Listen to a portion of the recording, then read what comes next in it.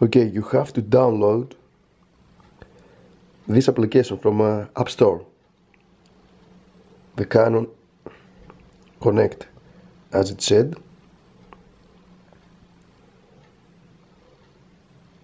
So you can remote shooting or uh, see your images, delete your images, transfer to your iPhone. So we got the Power G7X here and we just press the button from the Wi-Fi. It's over there. And we got a blink LED there.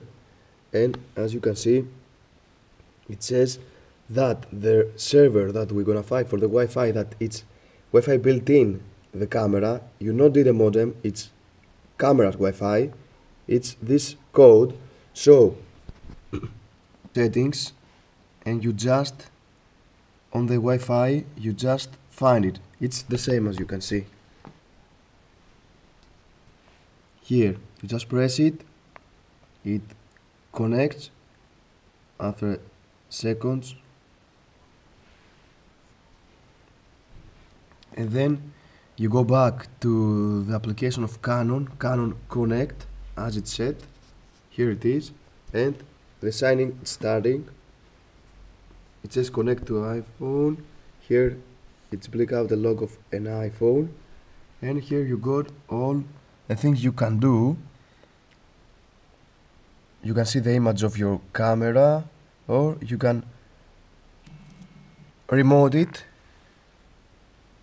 As you can see here I just moving the camera. You see what you want of the camera. And you got some other uh, settings here. Battery the image that you you have to do the zoom as you can see here. And we go we see the camera to just to move it by itself.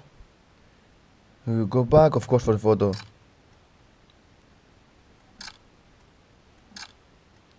you do it it's so easy. And thanks for watching